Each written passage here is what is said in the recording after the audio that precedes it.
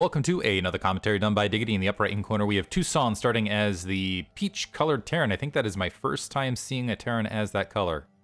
Bottom right hand corner, we have Kiko starting as the yellow Terran. This is going to be, so TVT, on Butter. This is BSL Season 14 HasuLeague Group C Winners Match.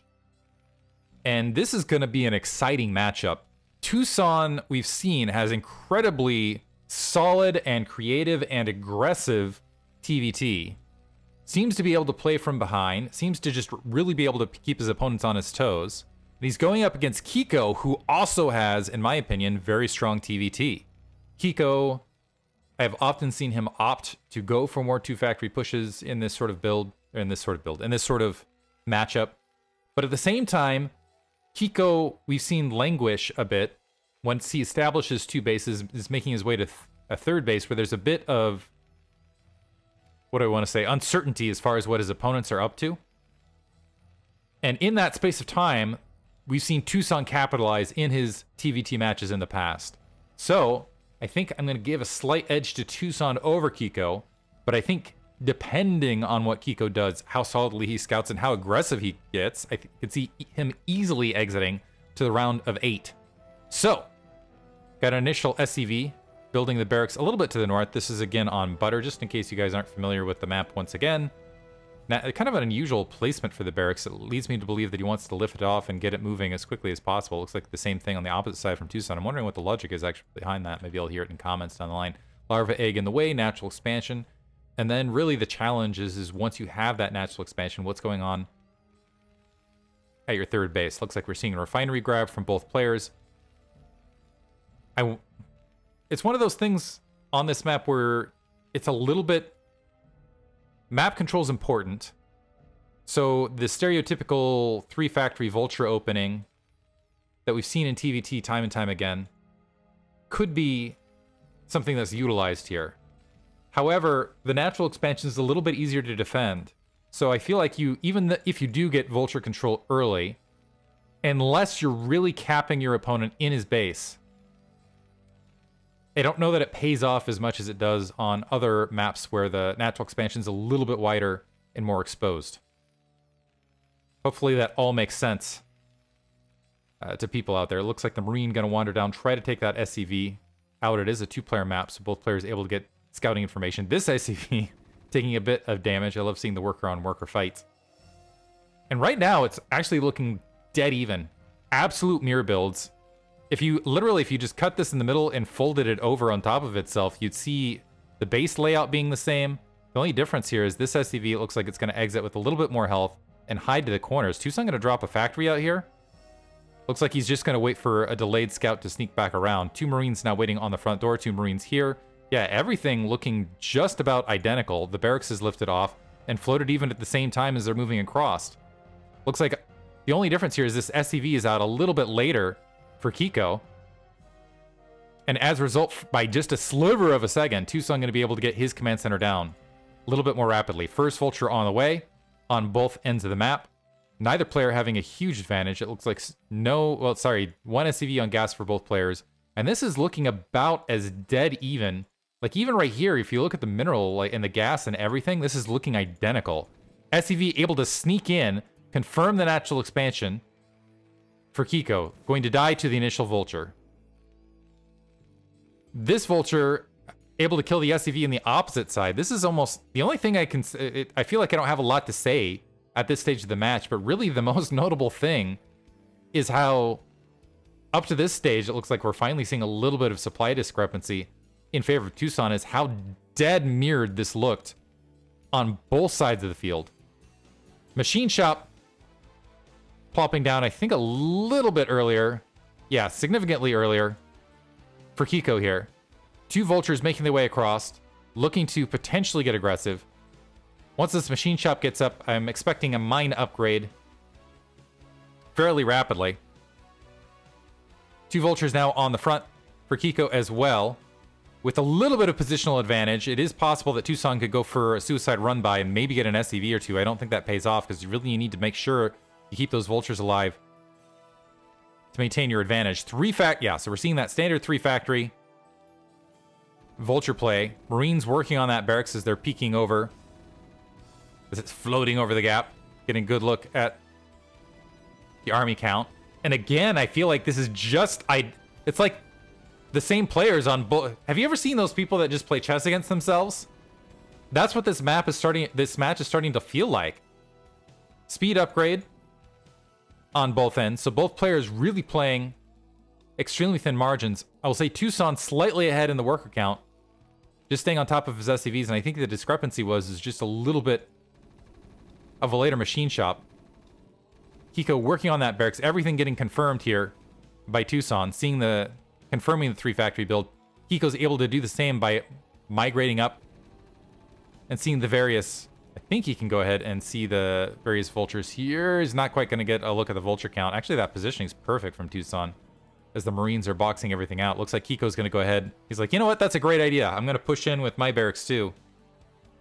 And go ahead and get all that information uh, as well. So, let's see who makes the move first. Because honestly, who gets across the map and engages and gets... This is a critical moment here, I think. This might be where we finally see a uh, discrepancy here. The Marines attacking here, but the Vultures now have speed. They can start moving across the map. Tucson looking like he's going to get the advantage, but if Tucson can dash forward and get up on this high ground, Kiko's Vultures are going to have to come to him, and they're going to have that misfire up the ramp. Not that that's going to be... And it'll just be that little bit of misfire and micro from there that could be the deciding factor in this game. Because, again, Butter comes down. Some of those factors look like Tucson peeking down, trying to get a little bit of damage done someplace. Tank doing a little bit of damage. Now Tucson completely backing out.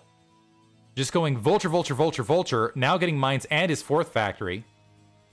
No fourth factory yet for Kiko. Instead, he's plopping on Goliath to assist against potential mine clearing. He's already grabbed his armory. I think there's no armory yet, so on the opposite side. So it might be an earlier plus one here for Kiko. So Kiko's going to have better mine clearage, but right now, as far as vision and mine and map control, Tucson definitely has that advantage. Let's see if it holds with the Goliaths. The Goliaths and tanks oftentimes can be an X factor in the Vulture versus Vulture battle, and this is a lot of Vultures.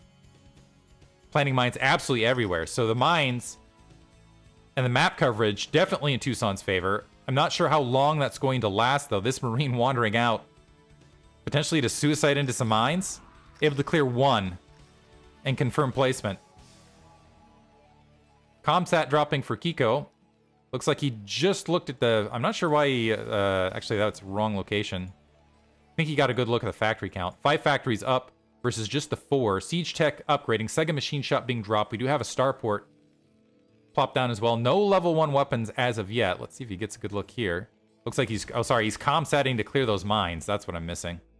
Not my best commentary today. So clearing out those mines midfield.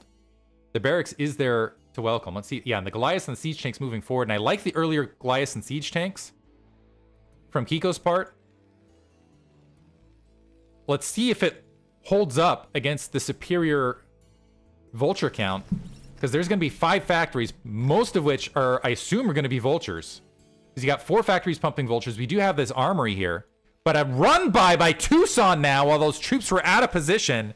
Kiko's natural expansion getting devastated. So this puts Kiko all in.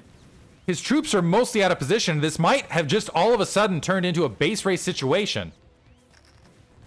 Vulture is diving forward, so they're able to run in. The siege tank, and it takes forever for vultures to kill siege tanks, so this might be an advantage.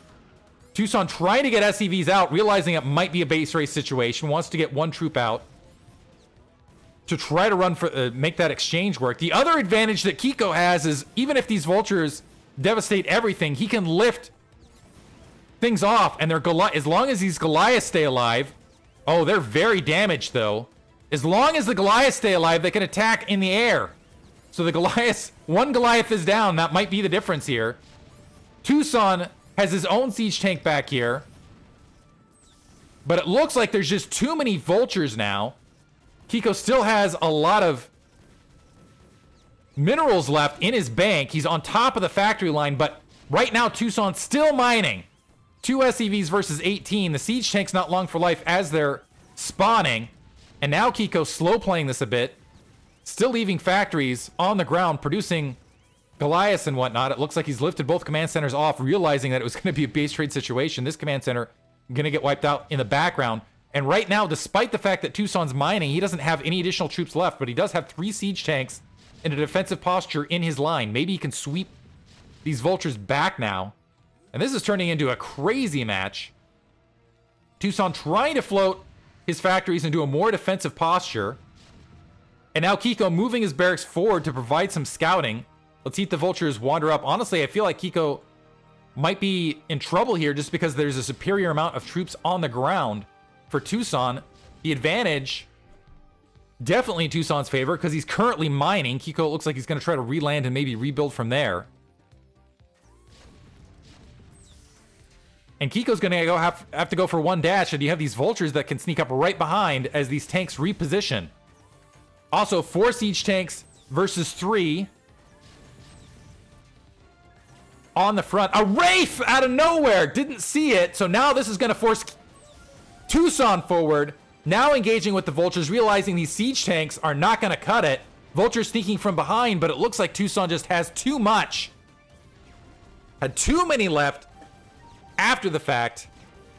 And so that is certainly going to be GG. It is now a cleanup operation. Still 19 SCVs left. And that is a frustrating one to lose for Kiko. And this is exactly what this is the sort of match I expected out of these two guys. Group prepare. The vultures diving and making sure that Kiko can't land anywhere. And honestly, this is like one of those. I yeah, you can see the one down to 150 APM, which is kind of the lean back, think about what happened in this match to gather up and take the next one. But certainly, it looks like two. Yeah, there's GG. Well played by both players. Unfortunately, Tucson pulling the trigger at the exact. Well, I. How do I want to say this? Vision paying off for Tucson early able to know exactly when to dive those vultures in, and also having the presence of mind to realize that he had the superior troop count after everything. Or would have. Maybe it was a bit of, I mean, honestly, it's so chaotic. That's kind of the dark arts of TVT, I guess. Anyway, hope you guys enjoyed it. Fun match. We're going to move on to match two. Hope you guys enjoyed it. Thanks for listening.